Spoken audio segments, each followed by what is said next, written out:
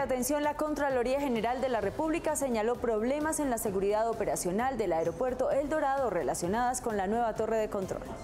Después de las eventualidades presentadas a finales de 2016 en el aeropuerto El Dorado, la Aerocivil puso en enero el funcionamiento del nuevo centro de control, una torre con equipos que, según la entidad, evitarán incidentes. No obstante, en recientes auditorías a la Aerocivil, la Contraloría General estableció seis hallazgos por presunta incidencia fiscal por 1.558 millones de pesos, donde se señalan problemas en la seguridad operacional del aeropuerto relacionadas con la nueva torre de control. La Aerocivil respondió que ya existe un plan de trabajo en las mejoras frente a los hallazgos encontrados por la Contraloría y que en el informe citado se hace referencia también a algunos contratos anteriores a 2016.